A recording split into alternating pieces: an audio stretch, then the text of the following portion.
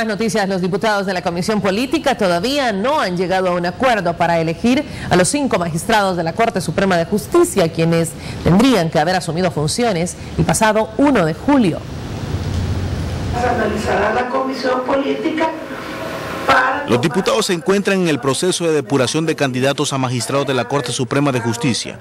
Tomar una decisión sobre quiénes serían los elegidos les está llevando tiempo debido a que buscan que los abogados propuestos cumplan los requisitos como el que no estén afiliados o muestren una tendencia a un partido político.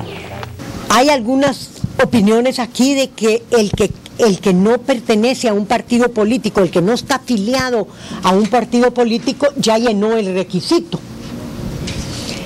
Yo soy de la opinión que una persona puede decir yo no estoy afiliada a ningún partido político, pero en las redes sociales has podido leer opiniones de esa persona hablando totalmente irrespetuosamente sobre un partido político. Los legisladores buscan a las personas más idóneas para los cargos, ya que no quieren que la sala de lo constitucional los declare inconstitucional y se repite el proceso de elección que tendrían que haber hecho antes del pasado 1 de julio. Y en ese sentido debemos de ser muy cuidadosos para que las personas que entren sean esos profesionales idóneos, ¿verdad?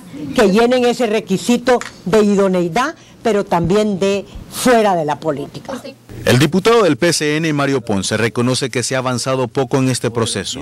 No obstante, se muestra optimista, ya que de la lista de 22 abogados propuestos por la subcomisión, un aproximado de 12 aspirantes tienen el beneplácito de la mayoría. Hay 12 que pueden ser eh, eh, electos el jueves, eh, de los 22 que no tienen mayor objeción. de los 22 hay, yo, puedo decir los 22 tienen posibilidades, pero hay algunos que tienen pues algunos, eh, algunas situaciones en algunas instituciones que eh, primero tienen que limpiar su, su expediente. La Comisión Política tiene programada una reunión para continuar con el proceso de elección de magistrados de la Corte Suprema de Justicia este jueves a la una de la tarde. Walter Morán para Tele 2.